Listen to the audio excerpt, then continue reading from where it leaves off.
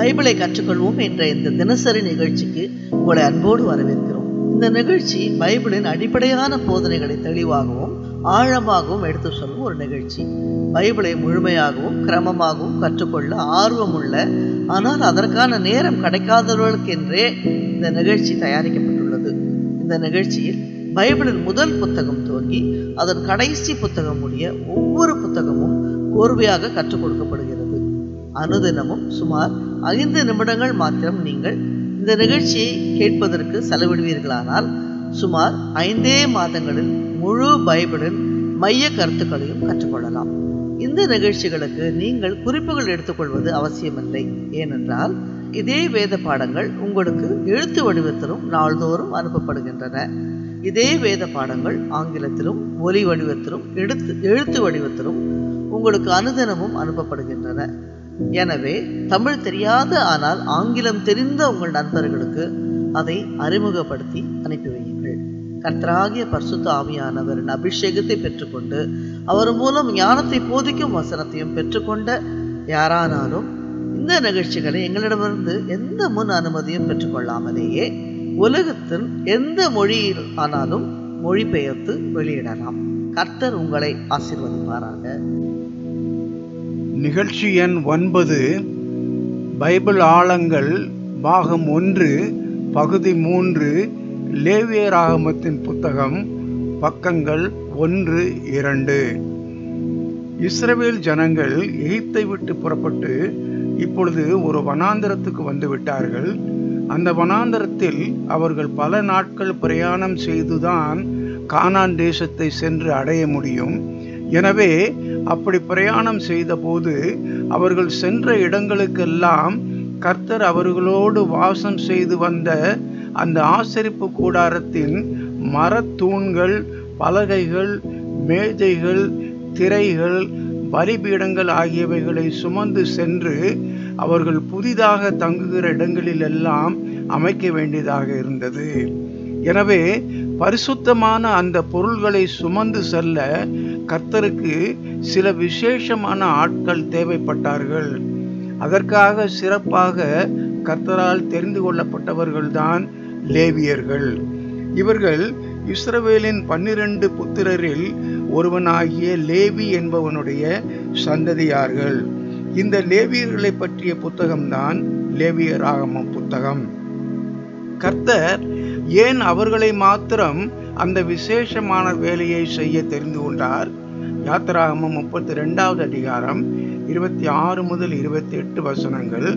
கர்த்தருடைய பத்து கற்பனைகளையும் மோசே ஒரு மலை உச்சிக்கு சென்று அவரிடமிருந்து வாங்கி வருவதற்கு தாமதமான போது மலையின் அடிவாரத்தில் இருந்த இஸ்ரவேல் ஜனங்கள் ஆரோனை வற்புறுத்தி தங்களுக்கு ஒரு பொன் கன்றுக்குட்டியை வார்ப்பித்து தரும்படி செய்து அதை வணங்க துவங்கினார்கள். அப்பொழுது கர்த்தருக்கும் மோசேக்கும் அவர்கள் மேல் கடும் கோபம் உண்டது எனவே மோசே அந்த விக்கிரகத்தை ஆராதனை செய்த ஜனங்களை வெட்டி போட சொன்னான். அந்த நேரத்தில் லேவி கோத்திரத்தில் உள்ளவர்கள் மட்டும்தான் எழும்பி அந்த விக்கிரக ஆராதனை செய்தவர்களில் மூவாயிரம் பேரை கொன்று போட்டு கர்த்தர் மேல் அவர்களுக்கு இருந்த வைராக்கியத்தை வெளிப்படுத்தினார்கள். எனவே கர்த்தர் அந்த லேவி கோத்தரத்தாருக்கு மட்டும் ஆசிரிப்பு கூடாரத்தில் சகல வேலைகளையும் செய்யும்படிக்கு அவர்களை விசேஷமாக தெரிந்தெடுத்திருந்தார். அப்படியே அந்த ஆசிரிப்பு கூடாரத்தில் தமக்கு பலிகளை செலுத்துவதற்கும் அந்த லேவி கோத்தரத்திலிருந்தே சிலரை ஆசாரியர்களாக தெரிந்து கொண்டார். அந்த ஆசாரியர்களுக்கு கர்த்தர் கொடுத்திருந்த மற்ற வேலைகள் என்னென்ன?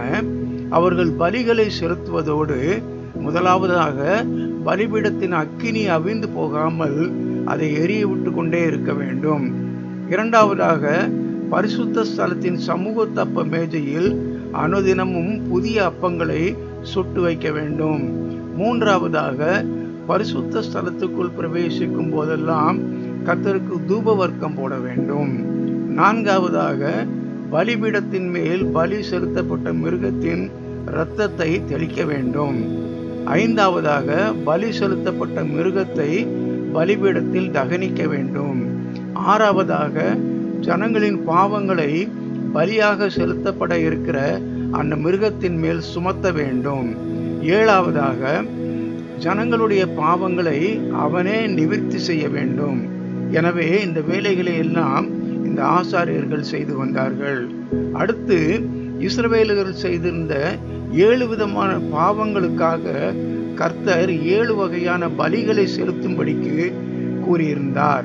அவைகளின் விவரங்களே லேவியராமம் புத்தகத்தின் முதல் ஒன்பது அதிகாரங்களிலும் கொடுக்கப்பட்டிருக்கின்றன.